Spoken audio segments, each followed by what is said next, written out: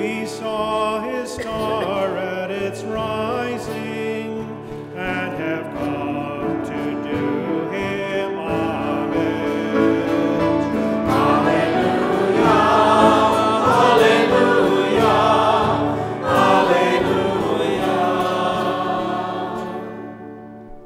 The Lord be with you. And with your spirit. Reading from the Holy Gospel according to Matthew. Glory to you, Lord. When Jesus was born in Bethlehem of Judea in the days of King Herod, behold, Magi from the east arrived in Jerusalem, saying, Where is the newborn King of the Jews? We saw his star at its rising and have come to do him homage.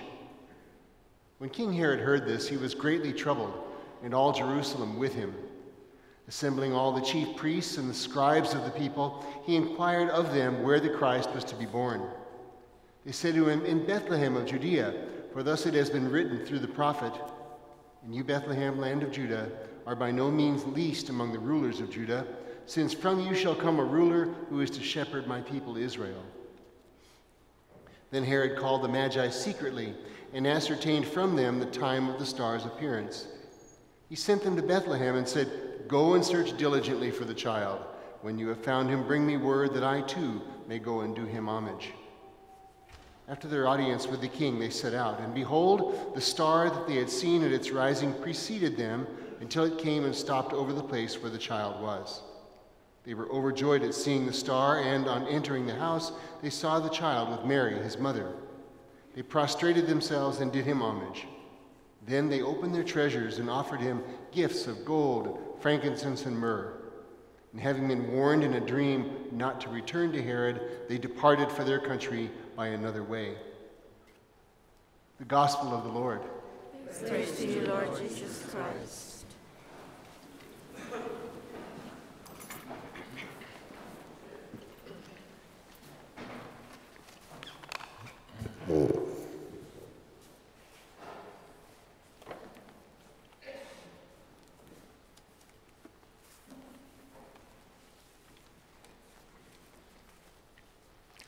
We usually wait for this time to complete the stable scene with these visitors. Um, different people, different backgrounds, different desires in their lives. The journey, the search, the uncertainties were all worth it and more. It was actually energizing and renewing. It was really a wise thing to do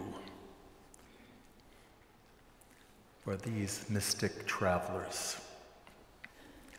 They found God after a long trek. Herod had been so close, but never understood anything. And as a result, the Holy Family would eventually, not too far from now, begin their lives as refugees and migrants. Not that they wanted to do that, they could only just return home. But they had to do that. They had to do that in the midst of innocent children dying and a family that could have been separated. We hear that up to this, this present time. When family, a father, a mother, and a young child, the mother had died. Now the little boy had died, and the father was there mourning his wife and his young boy and not even entering the place, the land that he had hoped to enter and share his life and theirs in that place for a better life. The Magi reached out to the open arms of this newborn babe and embraced divine mercy. He mattered, and they mattered, and it was all so very personal touching their very lives so personally. Their treasures, gold, frankincense, and myrrh, couldn't compare to the one who was the treasure of all humanity. God is never beyond our reach. God is never beyond our hopes or our longings.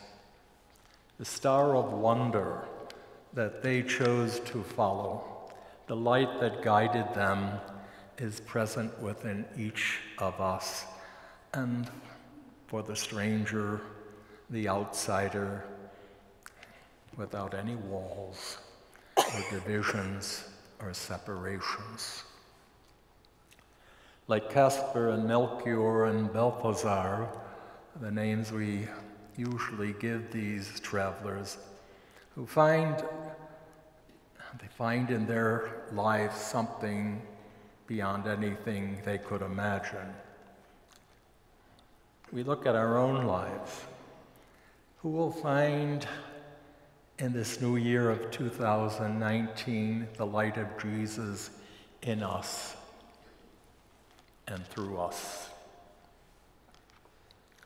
From our heart's treasures, Jesus asks us that we give ourselves because we know that He is worth everything. Everything.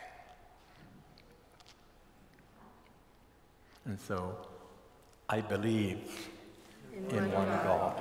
The Father, the Almighty, maker of heaven and earth